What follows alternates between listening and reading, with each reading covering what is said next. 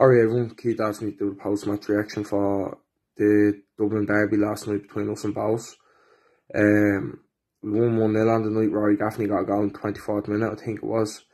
Um, it was good game, like, that was neither side stood out, like, it wasn't like we got better on Bohs or Bohs were better than us, like, it was like every typical derby, all like form and all that, all types of players go out the window. It's just whoever's playing better on the night will win the game, like, it doesn't matter whether we're top the league and Bohs at like sixth or seventh or Bohs at top the league and we're sixth or seventh, like it doesn't matter form and like all that type of shit doesn't come into derbies.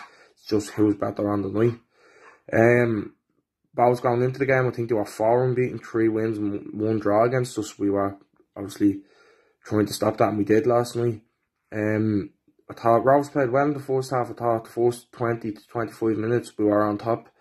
Um, and that resulted in the goal. Like you look at it, like I think it was Jack played the ball in him, self, Gaffney and Finner were playing the ball to each other. Um, a good few times beforehand. Like I think it was Finner played it to Gaffney.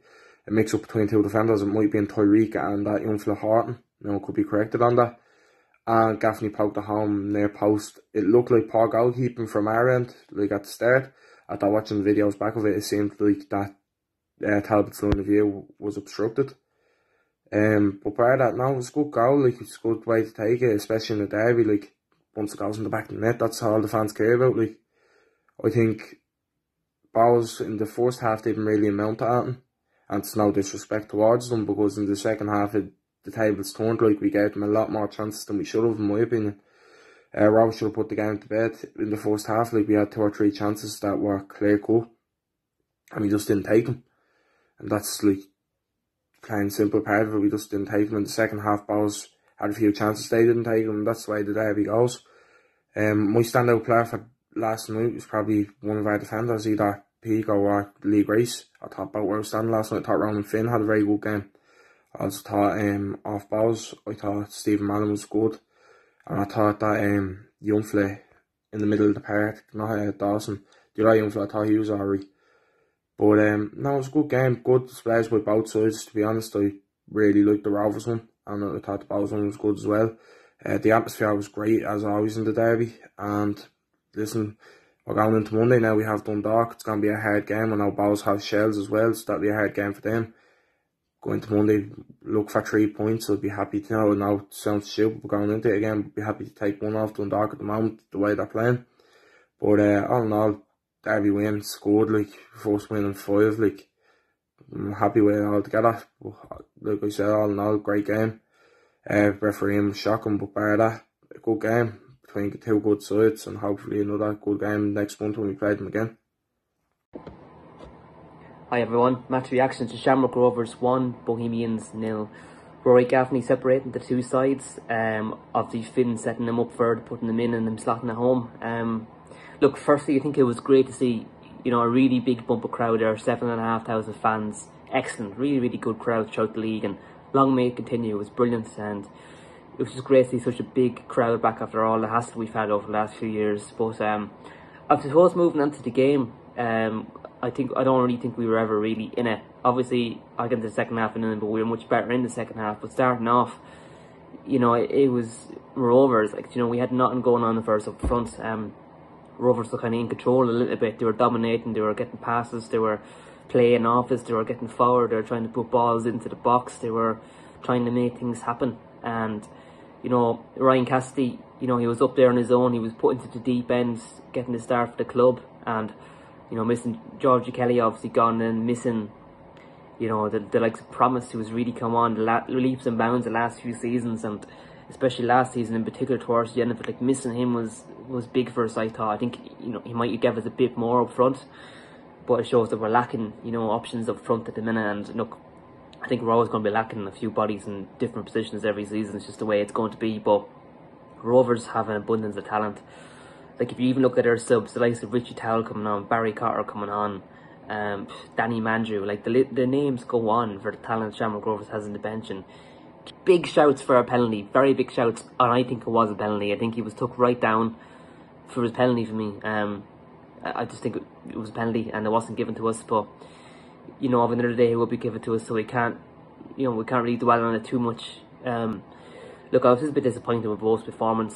I think the team of last season might have done a lot better, but look, we can't keep comparing ourselves to last season. We need to, you know, move on with what we have this season and back the lads and get behind them and believe what we can do. And it's a long, long season to go, and I've no doubt that we'll, you know, we'll keep pushing and we'll get more results on the table. Like this Shamrock Rovers team, they've unbelievable players all around. Like they're a bench to walk into any any team throughout the league and start really. So the Goodman quality is it's big, but it was great. You know, um, yeah, look, I'm just disappointed that we lost the game overall. Disappointed, you know, we had a few chances. Um, obviously Talbot made a very, very good save as well. He pushed one of the shots into the post and, you know, it was point blank range and all, and he got behind it and stopped it. So, um, yeah, he did okay. Um, I thought Wilson did okay as well. Um, yeah, Feely got up and down. His long throws were great. I think if you could get a few of them into the box further out the field, we'd, we'd create problems for teams going forward. Devoy was alright. He spread the play as much as he could, but I think if another day he could have done a bit more for us, really. Um, it was good to see Jamie Mullins come on as well, get a few minutes under his belt, you know. He's very young, and what a big game for him to be coming on and playing in. Really, really good. But look, it you know, Shelbourne now, Monday night, is what we need to focus on and, you know, put his result behind us, because I'm sure the players are very disappointed in it because I, I, am anyway. But look, we're always disappointed from losing the Dublin Derby. When you win it, it's the best thing in the world. But when you lose it, it's disappointing. And look, it's just the way the game went. We wasn't, we weren't up for it. We just weren't at the races. We weren't up to Shamrock Rovers level in the night. And um, I, I, I kind of disagree with anyone that thinks we should have got something out of the game. I don't really think we should have. Um, we got what we deserved, in my opinion. And look, Rovers were the better team on the night, really, and got the win. Um, we obviously, as I said, made a few chances, but nothing enough to actually trouble the keeper or trouble their defence or give Shamrock Rovers something to think about. So, look, Rovers got the win tonight. It's all but Monday night now, so come on, the Bohs. Well, that was a fucking disaster. 3 0 to Sligo at home, at, at home against us. No, sorry, away to us there. At, uh, at home ahead in the game pack. Um, you know, nothing good open badly in defence. You know, midfield was no creativity in midfield at all as well, and even the forward line, there's not even towards the forwards in that game. You know, Foley and Williams there up front, there was nothing there for them. There was a few chances, but you know, slim chances. You know, they were just no one. They were not going to affect the game at all anyway. But um, you know, fair play to Sligo. They got the win tonight. They were the better team, no doubt. And um, I'm getting worried. I'm already getting worried ahead in the season. Um, we've got Derry on Monday night. Can't say it's getting a result there. We got Dundalk on Friday night. You know, for us now to get a result in this crap town, uh, look, it'd be, it'd, be, very tough. Um, it's obviously quite disappointing now. You know, I had, you know, at start of the year, I was thinking to myself, look, we're not going to do what we did last year. You know, get to your, like, you know, be fourth or fifth, you know, in some of the season and try and obviously stay up. And we stayed up there big time. We overachieved last year, but I think even this year, you know, we're going to be bottom of the, bottom of the league now from for the whole of the year. You know, tenth, ninth, eighth. Um, you know, there's not much I could really say tonight. Just, in other words, just one way of saying it's a fucking disaster.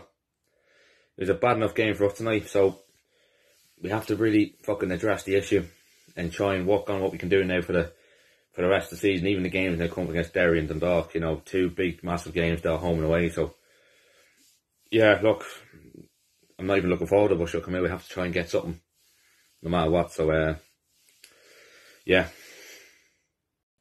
Hi everyone, this is my fan reaction to last night's victory against Drogheda United. The game ended 3-0 uh, for the Rovers and um, yeah, what can I say really?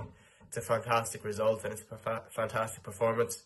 Uh, defensively, we look really, really solid, which is great to see. Uh, considering, look, we, we lost Mahon there at the start of the season, um, and but Nando's come in and he's been absolutely superb. I think he complements Buckley quite well. I think the two of them work very well. Uh, Buckley last night again, absolutely fantastic. Um, his 50th appearance for Rovers, and he gets better every time he plays. Just what a player! He's been absolutely fantastic since he's joined us. Um, and Paddy Kirk as well had a very, very solid game. Uh, he looks to be a very good player. Um, last week, especially against Dundalk, I thought he was very good, but last night again, he was fantastic. Um, middle of the park as well, the likes of Moore and McDonald, very, very good. Fitzgerald, what a goal he got. Karl O'Sullivan played very well. And then the two up top, Mata and Hamilton, were very good. Uh, first kind of proper looking we've got at them, and look, I thought they were very good. Hamilton with a very good header for his goal. Uh, Mata played quite well, unlucky not to get a goal himself. Um, but yeah, look, I thought we dominated that game from start to finish. I thought Drogheda had a couple of hand, half chances, nothing really to test Richard Brush, um, who, who was covering for Ed McGinty, who had an illness, so he couldn't play the game. Uh, so it was nice to see Richard Brush back in, and a clean sheet is always a bonus as well. Um, but yeah, look, Drogheda had a couple of half chances, nothing really too major, and they had the penalty also that they missed. Um, but yeah, I just thought a lot of positives to take out of that game. Uh, four games in, unbeaten, one goal conceded. It's the perfect start. Uh, hopefully we can build on this now. Uh, two very good games coming up now next week with Finn Harps at home and then Shamrock Rovers away. Uh, so hopefully we can pick up some more points, uh, keep this unbeaten streak going. Um, because a lot of people, I think, including a lot of Rovers fans, I'd say, uh, probably underestimated us this season. Look, losing two big players with Mahon and Kenny. Um, it was always going to be difficult to replace them. But it looks like Rovers got the recruitment spot on this year because all of our new signings look very, very good. Um, so yeah, positives all around. We look forward to Finn Harps on Monday. Hi guys, just back from Dundalk, Shelbourne there where it finished one all. Uh, wasn't a fantastic game, but it was decent enough. I think uh, the first half Shelbourne got the better of the exchanges, really pressing Dundalk, but uh, no real chances. Right? Well, that they had one chance that was skied completely over the bar and well out of the stadium. To be honest, uh, um, Dundalk had one shot. I think uh, Sam Bone straight at the keeper, but uh, other than that, it was mainly followed around the midfield, and Shelbourne seemed to get the better of it. But uh, in the second half, then Steve O'Donnell made a couple of uh, changes. I uh, made a change straight away, taking Bradley off for uh, Daniel Kelly, but then pretty much straight away Kelly came off as well. But uh, yeah, he made a couple of more changes then, and really after that, Dundalk took control of the game and went one 0 up around the seventieth minute, and it was yeah, it, it was coming. It was coming. It was a good header by Pat Hoban, and we set piece, and Dundalk looked like they were cruising until nine minutes of the game, and uh, referee awarded Shelbourne a penalty. Have to say, watching it live, did not think it was a penalty. To, to be honest, you can't see it really too well, but uh, looking back, yeah, he did. It, it was a penalty, right decision. Uh, I have to say, the referee got an awful lot wrong in that game, but uh, I do think it was a penalty. And ended one all, and to be honest, it's probably fair overall, but uh,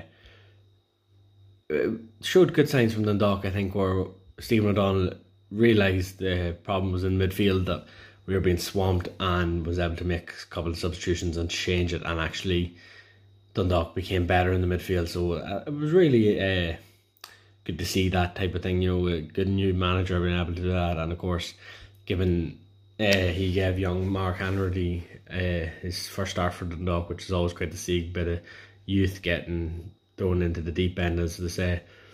But uh, yeah, so it wasn't the best game, wasn't the worst game. We didn't get beat.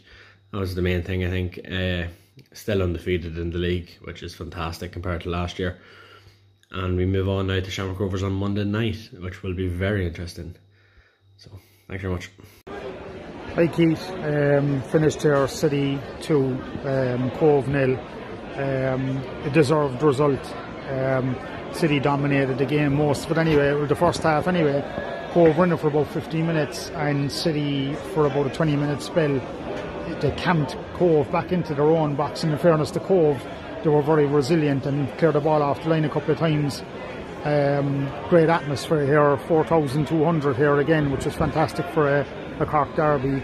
Um, second half, Cobh came back into that a couple of chances there. Um, and I'd say Darren Murphy, I'd say he gave right good going over a half time, I'd say, because City looked like it could have been five at half time to City. Um, but they made, did like Cobh improved so much in the second half and it changed. Um, um, suppose really the, the second goal and Cian Murphy killed the game off and you know City I think they deserved winners tonight. Um, uh, nice to see Cian Murphy score. Uh, Aaron Bolger played well in midfield, Matt Healy played well in midfield, Barry Coffey played well. Um, Cian Coleman got injured after about 20 minutes, I'd say, so he was replaced then.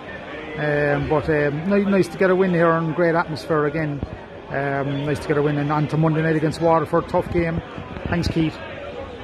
And it's Blues 2, Wexford 1. And uh, look, I'm going to not even acknowledge the win because the performance was so dire that it really didn't feel like a win. I thought we were uh, awful for large parts of the game.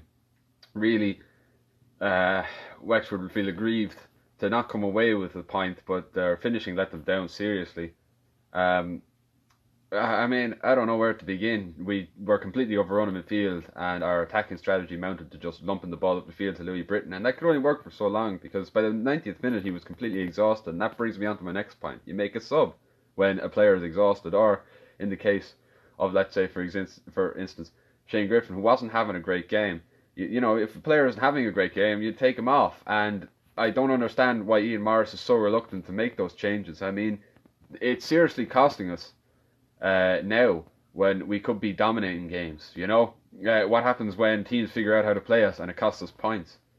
Uh, it, I mean, I'd like to know what his analysis is of the games because from where he's sitting, he doesn't appear to think there's anything wrong because he's not making the changes. We've got the players on the bench. It's not like seasons past where we might have only had you know 13 players that were capable of playing. We have a good squad this season, and he's not making use of it.